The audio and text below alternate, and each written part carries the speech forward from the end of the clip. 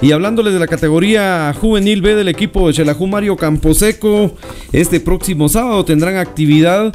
en Quetzaltenango. Ya arrancó el torneo hace una semana y terminaron eh, perdiendo en su presentación allá en el estadio Marquesa de la Ensenada. Pero para este sábado 14 de marzo, la programación está a partir de las 10 de la mañana en el estadio Mario Camposeco, recibiendo al conjunto del Deportivo Reu Así está la categoría juvenil B del equipo de Xelajú Mario Camposeco en este Campeonato Nacional de las Categorías Juveniles para el 2020 y va a ser un torneo largo en el cual pues hay la participación de 30 equipos directamente dividido en dos grupos y continuará entonces ya la actividad y como local se presenta el equipo de Xelajuna categoría juvenil B que está siendo dirigida por el técnico Eddie de León. La invitación para que estén pendientes de la transmisión a través del ente deportivo oficial. Ahí vamos a tener las incidencias de las categorías inferiores del fútbol nacional de Guatemala.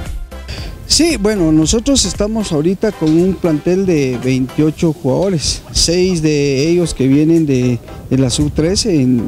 dándole continuidad a un proceso. Eh, un 2005 y un 2004 que,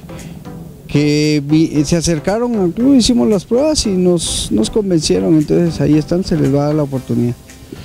Este fin de semana se recibe el equipo de Reu y algo importante que estaba revisando en el calendario es de que la sede de, los partidos va a ser el Mario Camposeco y esto es bueno también para el desenvolvimiento y lo que se trata de hacer en cada uno de los partidos.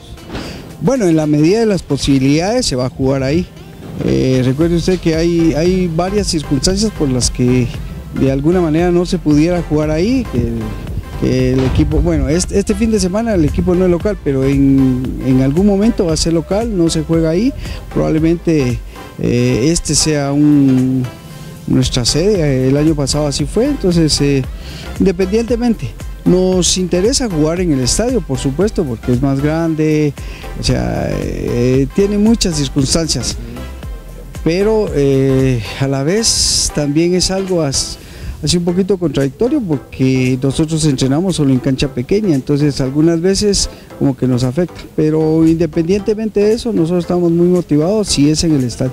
Y que ahora en este torneo pues amplía la participación en cuanto a los equipos que están y va a ser un torneo largo. Larguísimo, es de todo el año, son 30 equipos, son dos grupos de 15 y, pues nosotros estamos en el grupo A, pero igual tenemos que, que clasificar entre los primeros cuatro. Profesor, para este fin de semana contra el equipo de Reu toca la participación en el Mario Camposeco. Sí, muchas gracias a ustedes y, hacer una cordial invitación para que vengan a apoyar a los, a los chicos que, que de alguna manera son también parte del club.